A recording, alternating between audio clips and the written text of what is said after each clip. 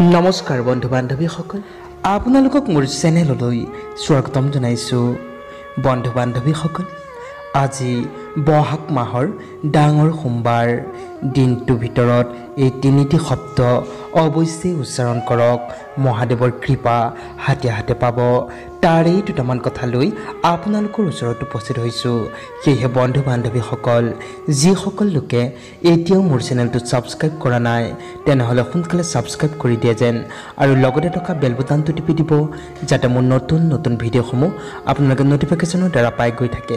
তেন্তে আহক বন্ধুসকল আমি ভিডিঅ'টো আৰম্ভ কৰোঁ। বন্ধু বান্ধৱীসকল সোমবাৰ দিনটি হৈছে মহাদেৱৰ দিন। এই সোমবাৰ দিনটিত মহাদেৱক সন্তুষ্ট কৰিব পাৰিলে সকলো কামতেই সিদ্ধি লাভ হয়। আৰু এই দিনটিত মহাদেৱৰ এই ৰুদ্ৰ মন্ত্ৰটি যদি জপ কৰিব পাৰে তেন্তে মহাদেৱ অত্যন্ত সন্তুষ্ট হয় আৰু ভক্তক দুহাত ভৰি আশীৰ্বাদ প্ৰদান কৰে। এই ৰুদ্ৰ মন্ত্ৰটি জপ কৰাৰ ফলত যিকোনো ধৰণৰ বিপদ ঘটাৰ সম্ভাৱনা নাথাকে আৰু সুখ সমৃদ্ধি বৃদ্ধি হয় আৰু পৰিবাৰৰ মাজত সুখ শান্তি আহে।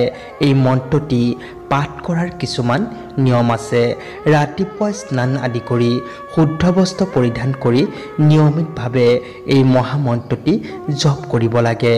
আৰু দুই নম্বৰতে মহাদেৱক গংগাজল বা গাখীৰেৰে অভিষেক কৰি এই মন্ত্ৰটি জপ কৰিব পাৰে। তিনি নম্বৰতে এই ৰুদ্ৰ মন্ত্ৰটি নিয়মিতভাৱে এশ আঠবাৰ জপ কৰিব লাগে।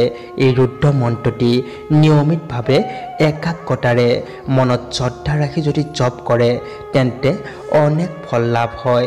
এই মন্ত্ৰটি হৈছে ওম নমো ভগৱতী ৰুদ্ৰাই এই মন্ত্ৰটি জপ কৰিলে মনলৈ শান্তি আহে। জীৱনত সুখ শান্তি বৃদ্ধি হয়।